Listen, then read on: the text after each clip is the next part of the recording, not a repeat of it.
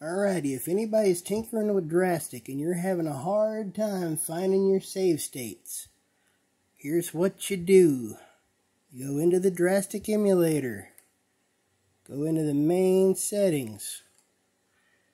Change options. Go to general. Go down here to system directory. And you use the scoped storage folder and then you set that to the same folder that you usually use for Drastic. You know, where the same place you put all your ROMs at in your BIOS. Alright, you allow it. It's going to say already done that, because yeah, already done that.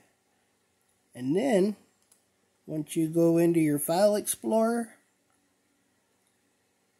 it'll be so much easier to access all your folders. Yeah cheats folder, backups where they put all the save states, and NDS is where my ROMs are. Alrighty. So just in case you don't know, that's what you do if you can't find all your folders for Drastic. Hope you learned something.